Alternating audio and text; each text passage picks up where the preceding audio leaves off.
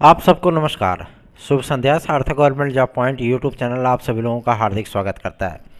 Channel पर नए हैं, चैनल को सब्सक्राइब करके वीडियो को लाइक कर दीजिए शेयर कर दीजिए, बेल आइकन दबा कर रख लीजिए, ताकि आपको नोटिफिकेशन मिल जाए और आप उसे शेयर कर पाएँ। चलिए, खबरों की शुरुआत कर लेते हैं। R O A R O री एग्ज़ाम के लिए विद्यार्थियों का आंदोलन। उसमें पार्टिसिपेट करने के लिए हमारे जो भाई बहन हैं, वो हमको भी जो है प्रोत्साहित करते हैं कि आप भी पार्टिसिपेट करिए। हमारा आप सभी लोगों को पूर्णतया समर्थन है। और हम जो चीज़ें कल हम लोक सेवा आयोग गए भी थे, लेकिन कहते नहीं कि रास्ते में भी पुलिस ने बैरिकेडिंग कर रखी थी, सारी चीज़ें हैं। जो विद्यार्थी हमारे साथ भी 10-15 की संख्या में थे, वो सारे विद्यार्थी जो है, वो लौट गए, ठीक है? क्योंकि थोड़ा सा पॉलिटिकल चीज़ें हैं, जो ये पत्थर गिरजा घर पे कुछ लोग धरना प्रदर्शन कर रहे हैं, उनसे भाई देखिए, हमारा तालमेल नहीं बैठ पाता, सीधी सी बात है। और मैं उस आंदोलन में नहीं जा सकता, मैं वहाँ नहीं जा सकता, सीधी सी बात है। हम विद्यार्थियों को सपोर्ट करने के लिए लोक सेवा आयोग जा सकते हैं और वहाँ पर जाते भी हैं। ऐसा नहीं है कि हम विद्यार्थियों को सपोर्ट नहीं करते। जब इसका आंदोलन शुरू हुआ था, शुरुआत में ही धरना प्रदर्शन स्टार्ट हुआ था तो ही मैं पहले ही दिन गया था लोक सेवा आयोग।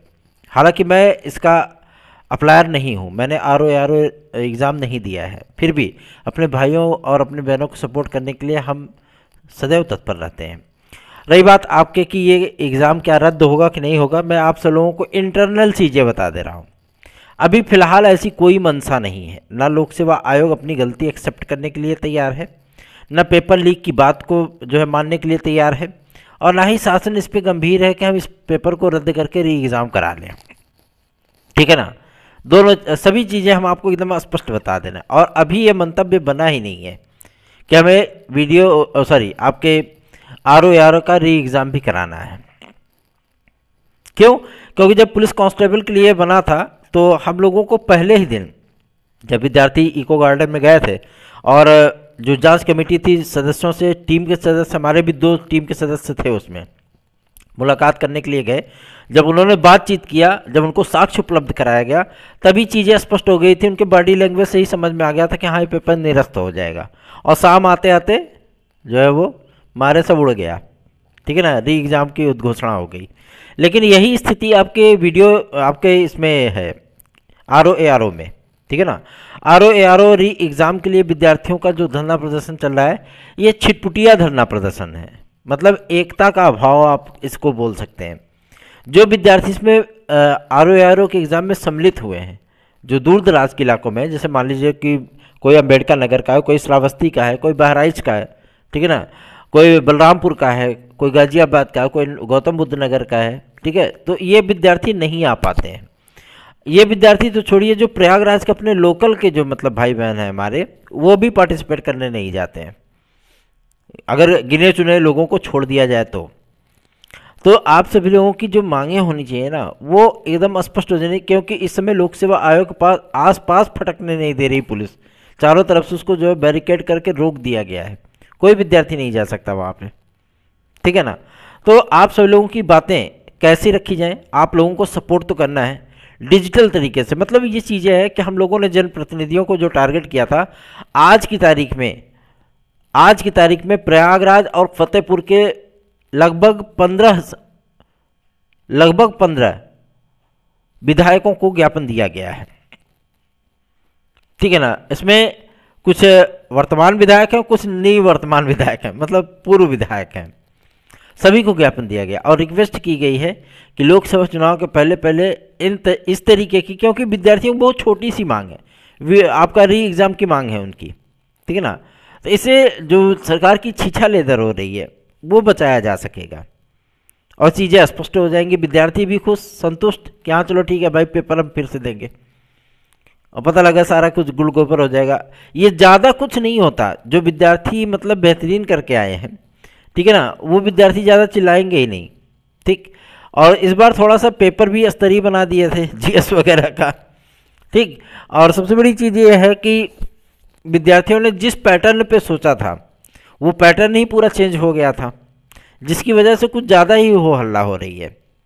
लेकिन मैं आप सभी लोगों को बता दूँ, आज हम सभी लोगों को मुख्य सचिव उत्तर प्रदेश शासन की तरफ़ से जो जवाब मिला है कि इस मुद्दे पर बातचीत अवश्य ही होगी और मुख्यमंत्री महोदय के सम्मुख ये मुद्दा अवश्य ही रखा जाएगा। मैं आप सभी लोगों को बता दूँ, हमारे और हमारी टीम के सदस्यों की तरफ़ से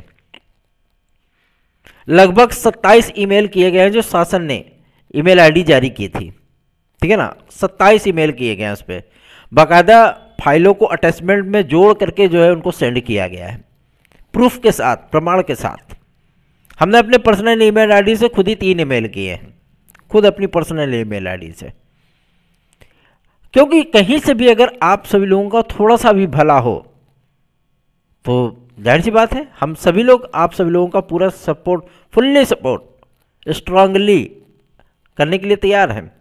और कर रहे हैं, उसमें कोई दो राय नहीं है। कुछ लोग कहते हैं कि हमको 24 घंटे पुलिस ने बैठाए रखा था, और अब हम सपोर्ट कर रहे हैं फिर से, R O R O exam को लेकर के।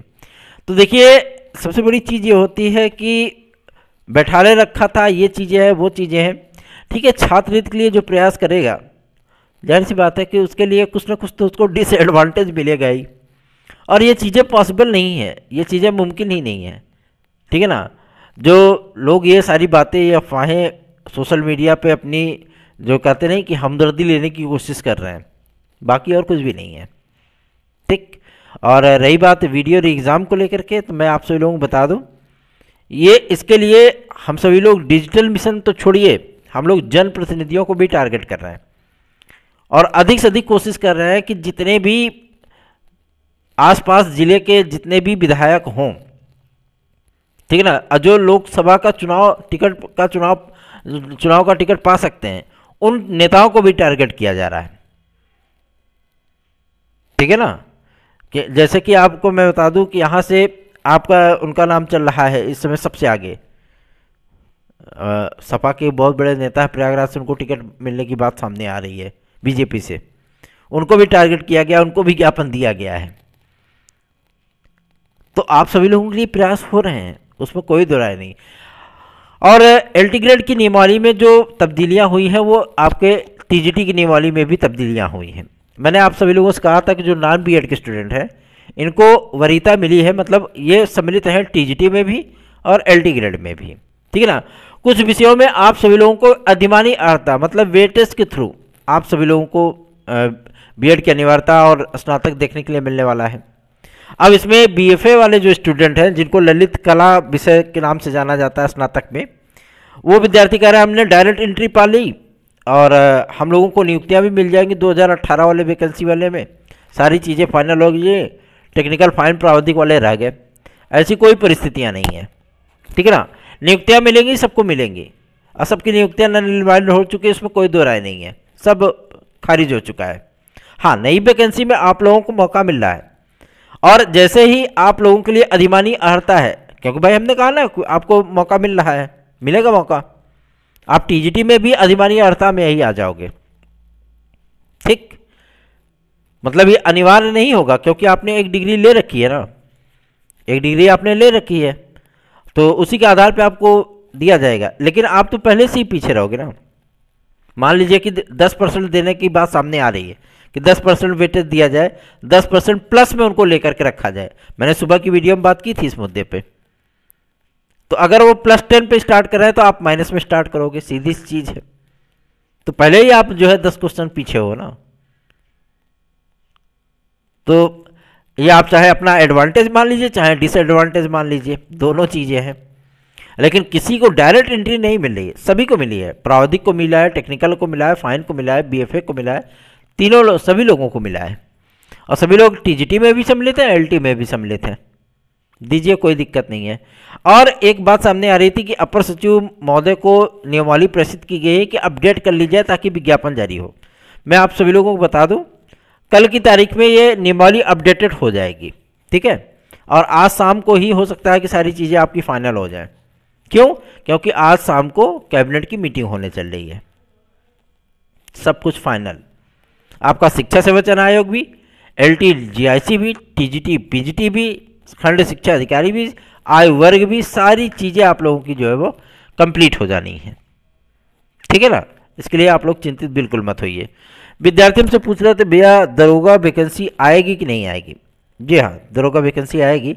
अभी तो आप लोग देख रहे होंगे कि वीडियो, आपके पुलिस कांस्टेबल री एग्ज़ाम को लेकर के ही बहुत ज़्यादा किरकिरी हो गई है। और जो पुलिस प्रोन्नति बोर्ड की डीजी हैं मतलब महानिदेशक महोदया है रेणुका मिश्रा मैडम, ठीक है ना, आदरणीय रेणुका मिश्रा मैडम तो उनसे जो है शासन ने जवाब मांगा है कि बताइए कैसे पेपर लीक हुआ। ठीक, अब ज़ाहिर सी बात है, जवाब तलबी तो होगी। उसके बाद आप लोगों को मैं बता दूँ, ये मामला सुलटने के बाद आप लोगों का विज्ञापन जारी होगा। ठीक है ना? और विज्ञापन आप सभी लोगों को मार्च के महीने में देखने के लिए मिलेगा। चुनावी आचार संहिता के पहले पहले आप लोगों को विज्ञापन मिल जाएगा।